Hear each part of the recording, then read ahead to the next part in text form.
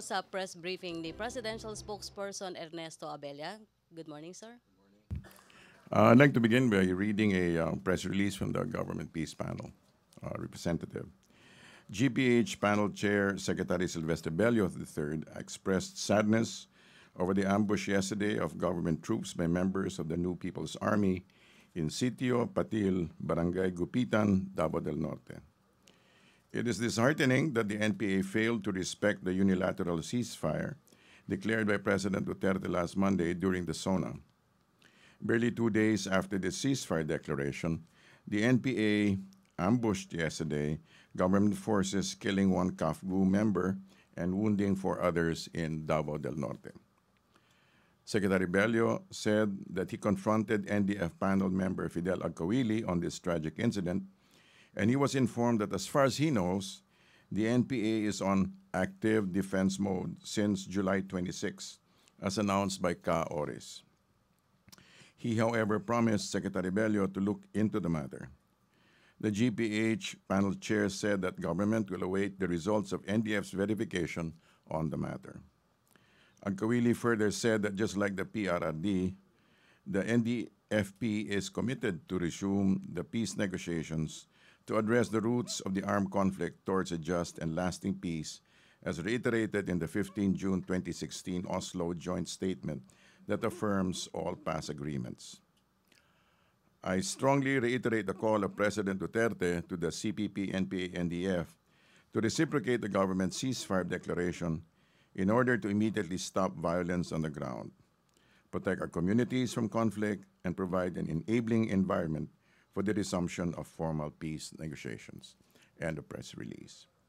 Question will come from Joseph Morong of GMA7 about the peace talks. Sir, good morning. Good morning. Sir, has the president made a decision? Because last night, uh, yesterday, he said he's going to wait for until midnight for the reply of the NDF. I think this is a development and uh, you know development regarding that matter. So uh, let us await for the final. How long is the president going to wait for the NDF? Um, I don't have a timeline for that, but uh, he's giving a window. With this uh, statement, I believe he's giving a, a small window of opportunity. Sir, just last one question on that topic. What do you think is the effect of this incident on the peace talks, the scheduled peace talks on August 20? I expect that everything will still work out all right. Follow-up question, uh, Pia, about peace talks. Um, so, sir, will there be any development on when um, the CPP will reciprocate the ceasefire if indeed the ceasefire has not yet been lifted? I mean, is there any development on when they will reciprocate? Th- they're supposed to have recipro- to be reciprocating uh, as soon as possible. There's So no uh, like target date or set. no, we're date for not that? setting any dates on that. Okay, follow-up, Rose Novenario. Sir, may plano po ba yung government na mag-pull out po ng kanilang military troops sa mga NPA-infested areas as requested by CPP founding chairman Jo Joma Siso nung Tuesday yata or Wednesday? Uh, if things work out as planned, uh, if things work out as according to plan, then if ano, eh, then, then there will be a how do you call it reciprocal response from the president from the government. Sir, meron po bang assurance yung grupo po sa Netherlands na kaya po nilang kontrolin yung kanilang tropa dito sa Pilipinas? That's what we're assuming, and that, that's what President Duterte is challenging. Okay, thank- thank you. Raymond Tinasa, Bombo Radio. Sir, pero yung element of trust and confidence to the other party, the NDF, intact pa ba yun after this uh, parang uh, betrayal, even in insult to the declaration itself of the president? The onus remains on their side. So, if whatever trust there is must be uh, must be f- firmed up from their side. Thank you, sir. Thank you. Follow-up question, uh, Joseph Morong. Sir, I just don't want to assume how what the president was thinking yesterday, but can you just walk us through yung nangyari kahapon when he received the information that uh, there were ambushes, that uh, may namatay na tatlong CAFGU? How, how is the president treating this? And uh, Well, uh, I think we saw it during, during his uh, the- his um, his taped response, and you saw how. Uh, well, he was. Of course, it was a very upsetting news, but he was very much in control. May follow-up question pa about peace talks? Other issue na lang? Peace talks. Ah, Joseph Sir, yung Moro. sinasabi nilang dalawang conditions, set free yung mga consultants, and we're talking about 22 or all 500? Um, the con- I think the consultants are only a small number, right? 22 lang yata, sir. Okay. Is the, and then yung pull out of troops. Are the, baka kasi magkaiba lang sir ng pananaw yung NDF and ng government. Are these preconditions to the government's mind before we proceed with the They're not preconditions, not in, in effect. They're part of, but not preconditions. Yes, but yeah. Follow-up. Uh, JP, JP first of Manila Standard, then Pia. Sir, until when yung window of opportunity na ibibigay ng Well, it, it's a very, of course, it's, actually, it should not be existing. actually, actually, it, actually, it ought not to be there, but there is a very brief window of opportunity, okay? Um, sir, last na lang. Um, um, will the government pursue with the release of political prisoners as being requested by the CPP? Let's put it this way. As soon as the trust is restored, then things will proceed as agreed upon. Meron na po bang quantify, quantifier, sir, from the GPH panel or the OPAP? May sinabi na po ba sila with regards to um, how can we um, resume the trust? Ano yung um, Ito parang- nga, inaantay natin yung kanilang, ano, their, their appropriate response, as Secretary Bello said. Thank you. Thank you. Pia, Rappler. So, sir, since last night, has there been any talk between President Duterte and anyone from the left movement about the hap- the incident? And is this um, yung investigation of the the left with the NPA I rebels? don't Is this enough to to qualify na they are doing something about it? Or this Dut- President Duterte is he waiting for more of an explanation? Let's just put it this way. I don't have any updates on, on the, on what happened since last night, but let's go by this. Okay, thank you. Inam, yes? Ina. Sir, sino po pala yung um, leftist congressman na sinasabi ni President Duterte that he called soon after he learned about the ambush? Um, I'm not familiar with the, you know, the actual ano, Okay. person. Uh, Sir, and uh, knowing the president, do you think, kasi last night he was uh, firm that Yes. if you do not give me an explanation by tonight, uh, he will possibly um, suspend the ceasefire, Mhm. basically. Knowing the president, do you think he's actually amenable to maybe extending that um, deadline, or can we expect that his decision will be announced at least within today? Well, let's put it this way. The president is a very rational person, and he will do what needs to be done. Thank you. Okay. Other issue na? May follow-up about peace talks? No more? Other issue, Leila Salaverria. Sir, with regard to charter change, the President expressed his Yes. preference for a constituent assembly. How does the palace intend to convince lawmakers to support this mode of uh, amendment since many of, uh, well, several of them have also expressed misgivings about the con as uh, they're saying it might be, become a self-serving exercise. Well, first and foremost, whatever decisions this will, first and foremost, whatever results will be from the uh, CONCON or CONAS, whatever, it will be to the benefit of the next generation of leaders, right? It will not be affecting them directly. So, being self-serving does not really come into play here. Um, having said that, uh, oh, that's about it. Yeah. Uh, the, uh, the President said that um, he's in favor of CONAS because it's cheaper. What's the estimate? We don't know exactly the estimate, but according to DBM, it's an enormous amount of money. it's an enormous amount of money, and may affect, for example, the uh, may affect the uh, the proposed increase, uh, pro- proposed increases, and the other projects that are also all lined up. So basically that, and also the, the you know basically that, that it's going to cost an enormous amount of money. Thank you.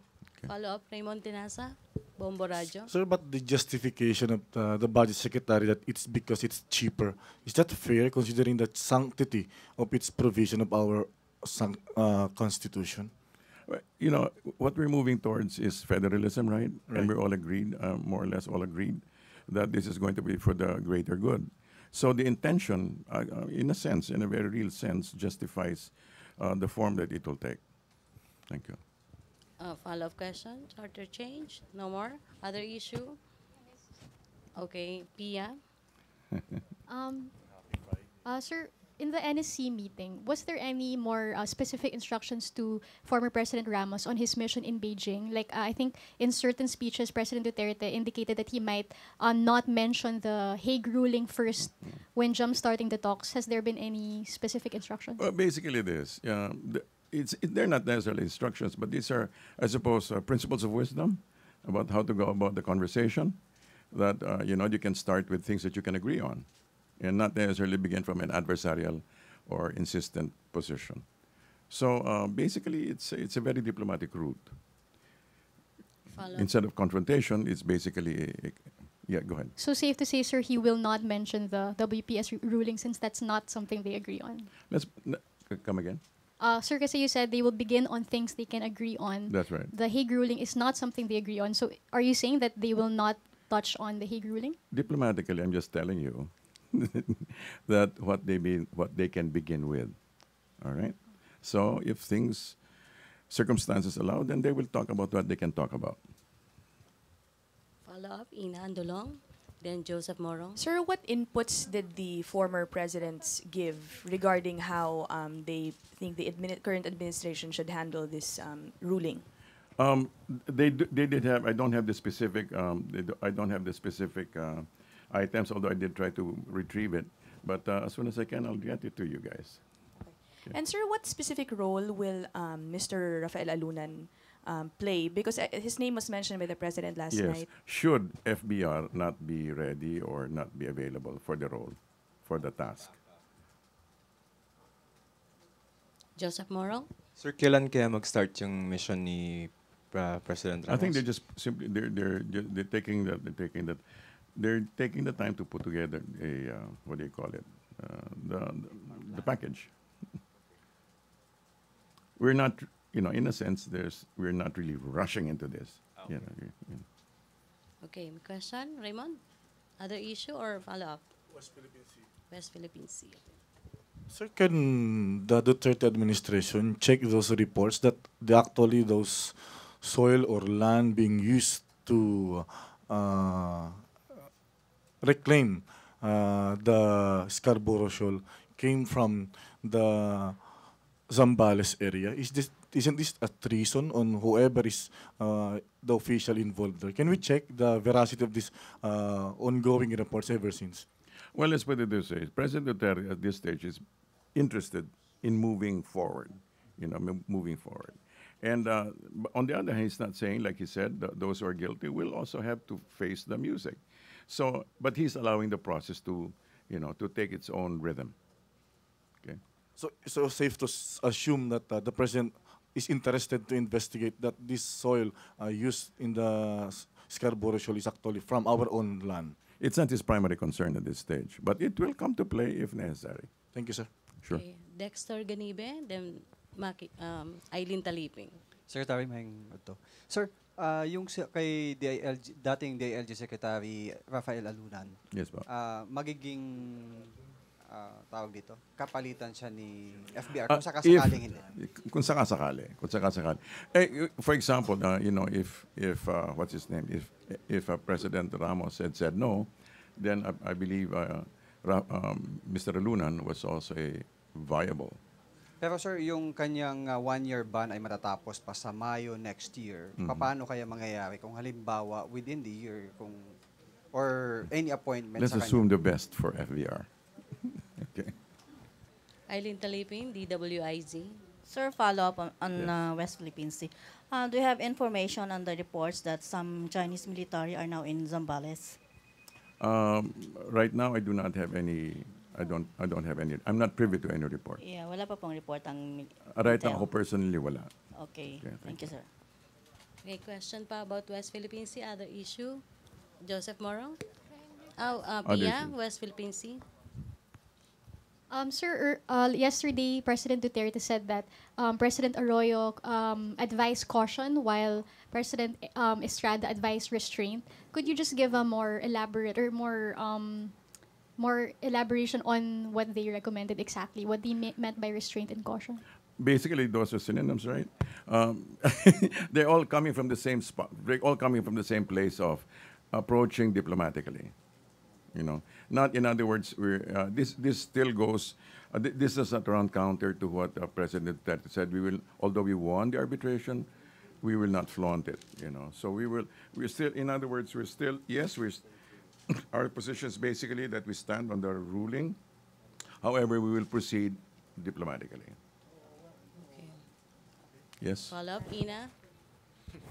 President Duterte said he thanked former President Aquino for the um, Hague, for filing basically Yes, the yes. case and uh, winning it for us. Did the former president also maybe give his suggestions on how um, they should move forward or Uh, go he ahead? did give an indication of how to do that, although the, the details I do not have it right now. Okay. Uh, follow up question pa rin. The West Philippine Sea, other issue? Joseph? Sir, sabi ni, yung sa salary incre- increase lang, sir, may detalye ba kung magkano yung first tranche for soldiers Uh, and I police? don't no? have the detail for the first tranche, no, for the first. Uh, although he did, although you know, he did give the assurance that it will be fulfilled. eh, kaya lang talaga because this this particular this year is still the budget of last year, so he cannot really impose upon it.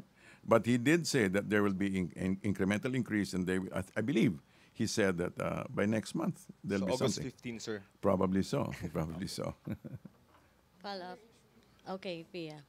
Sir, just um on the Miss Universe, Yes. um just want to clarify because there have been conflicting reports nga saying that uh, Duterte rejected it and then also that it's it's going to push through. Can you just clarify what exactly he meant? No, ba- basically, when it was first um, broached to the president, um, I I think the assump- he said it's going to be magasto. No, his impression was it's going to be very expensive, apparently to the tune of uh, 11 million U.S. dollars. He, that was his assumption, but uh, I think he has been assured this time that uh, the Philippines will not, the Philippine government will not be uh, giving out uh, quote unquote single centavo, except of course in terms of services, in terms of protection, in terms of security but not in actual cash out. Sir, because the last time we hosted uh, Miss Universe, the when nag-default, the government ended up paying for for parts of it. Is he not fearing this scenario? Well, if he's assured that uh, it's going to be coming from another sector, ma- mainly private, then there's, there's no need to fear. Okay. Raymond Tinaza? Microphone, please. Thank you, Joseph. Just to clarify, kasi I remember the former President Aquino uh, signed an executive order implementing the uh, supposed uh, salary standardization law for for the year 2016. So nandito na sa 2016 budget yung first trans. So hindi ba ito iba ba 'yan yung ibibigay na increase doon sa uh, mga soldiers? Um, I don't know about the technicality of it, but uh, basically, he's the, the president simply standing on his word that he will make sure that those who work their part will also be rewarded amply. Thank you, sir. Thank you. Thank you. Question?